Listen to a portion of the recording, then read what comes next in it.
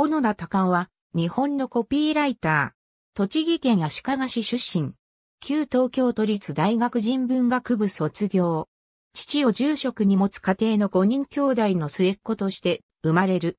都立大学人文学部卒業後の1966年に資生堂に入社。宣伝文化部に配属される。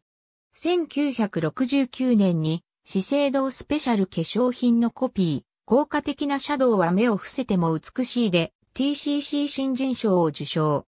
その後も1972年には自身の代表作となる資生堂、シホネットのコピー並びに同社が刊行する月刊誌花椿の特集タイトルにも起用された頬ほんのり染め手を送り出し一躍注目される。その後も海岸通りのぶどう色、レンガ通りの白い肌、嬉しくて、バラ色など、資生堂から発売される製品や企業コピーを書き続けてゆく。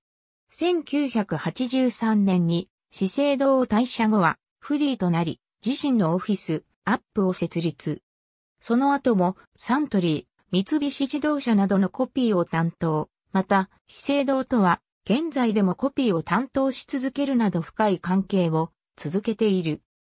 このほか、ライフネット生命の創業者として、その名を知られる出口春明とは、同社が創業した際、社のネーミングを考案した関係もあり、出口が2018年に表した全世界史では、小野田が彼の話をもとに書き下ろしてもいる。